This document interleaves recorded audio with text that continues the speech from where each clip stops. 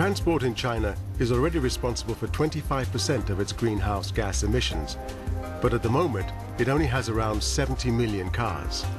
China were to move to the US situation, you'd have something like six to 700 million cars on the road, which is more than three times as many cars as there are in the US. That would have a really, really dramatic impact on greenhouse gas emissions if those were all driven by petrol engines. Adapting to electric cars could reduce their greenhouse gas emissions and boost the green economy. But electric cars are only 1% of the global car market. If they're going to have a big impact on uh, climate change, then we've got to increase that from 1% to 50% or more. The price has to come down. The technology has to be made really robust. We probably need to improve battery technologies. All of that means that you know you aren't going to see electric cars taking over the market quickly anywhere, in particular in China. The Geely mission statement is make good cars that are the safest, most environment friendly and most efficient. But when it comes to electric cars, they're hedging their bets. I think it will be uh, uh, not a wise idea to force customer to buy something which in reality still takes some time to get a, a better maturity.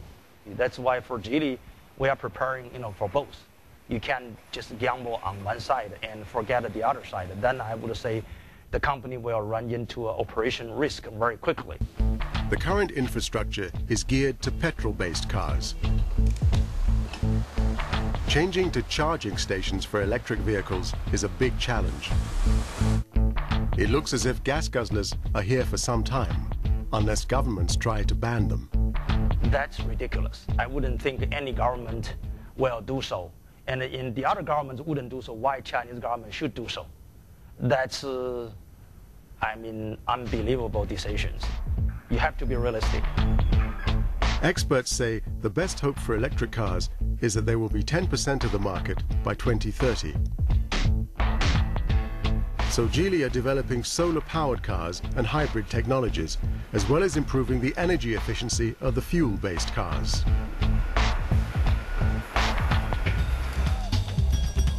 Mr. Zhao's car ambitions are commendably green.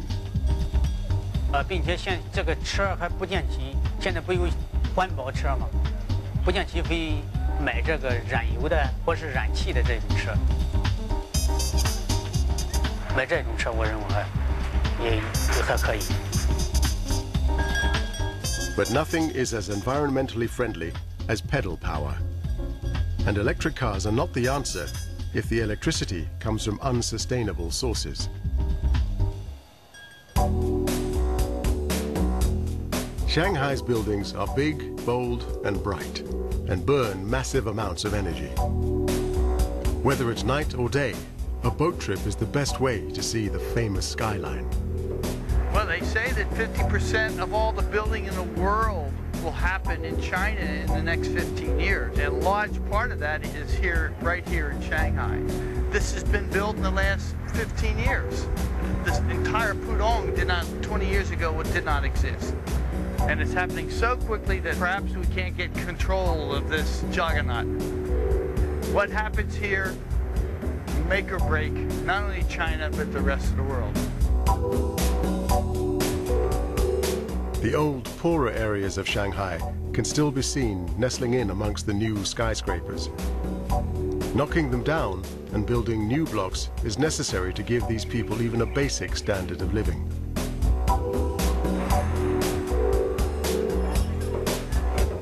But making the poorer residents better off is making the world worse off.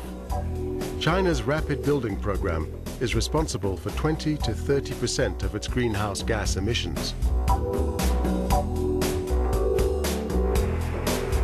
Shanghai leads the world in buildings that have more than 30 floors, and this is only the beginning.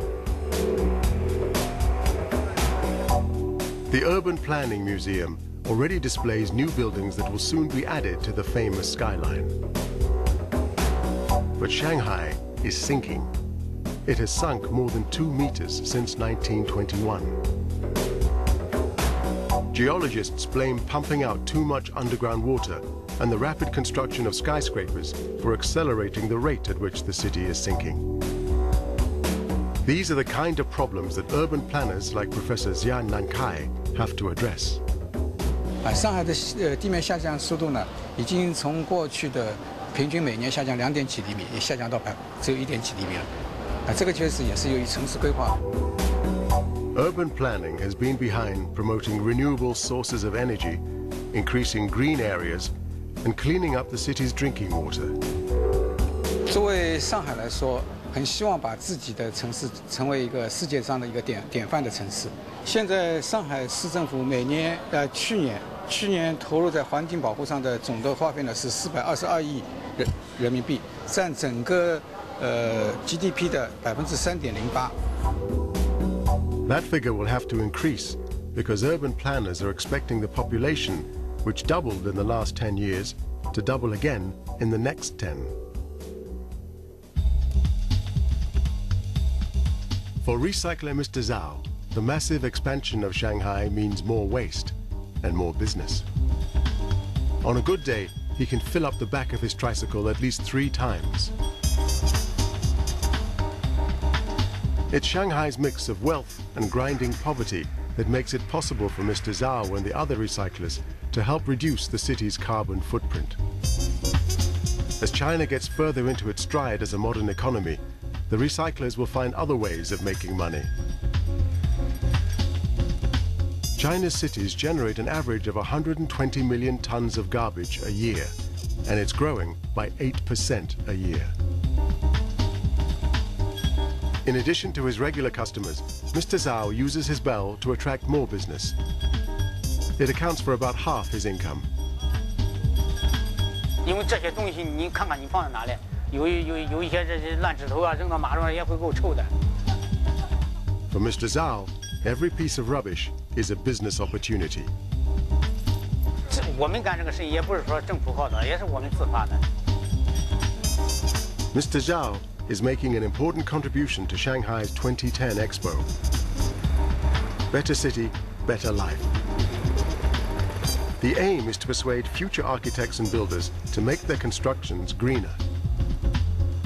那么我们在这个新的世博会里面呢，就提供了生态的城市，啊，节能的城市，那个环保的城市，啊，以及更美好的城市的一个理理念。希望通过这次世博会呢，来引导上海的城市建设，来 引领世界城市的发展潮流。But that vision of the future is threatened by what is going on now.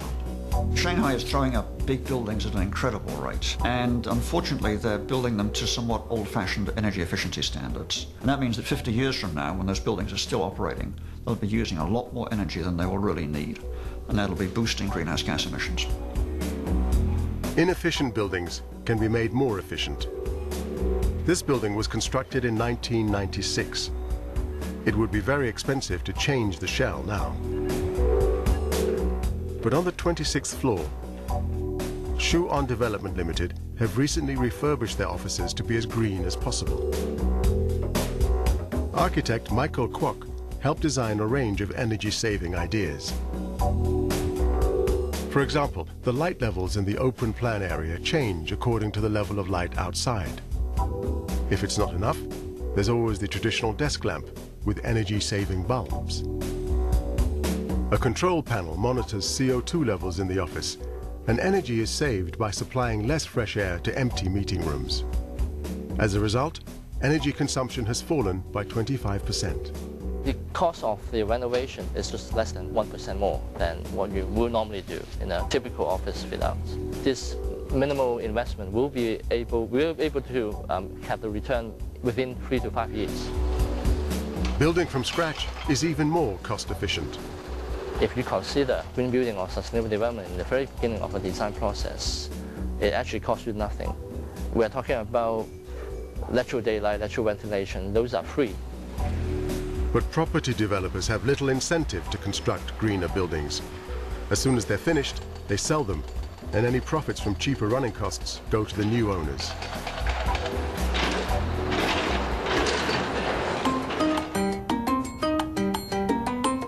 Shanghai's buildings may be costing the earth, but they're certainly a tourist attraction.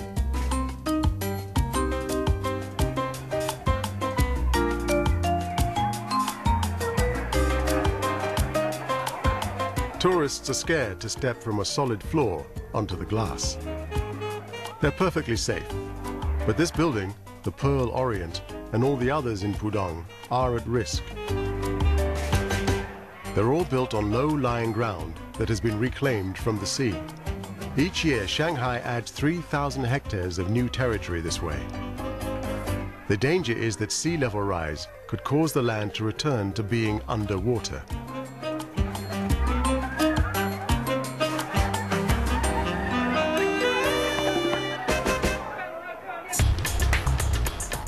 The war against climate change will be fought on many fronts. Finding the means and the money to adapt will be critical. Coming up in part two, countries like India show the way forward in low-cost, practical solutions.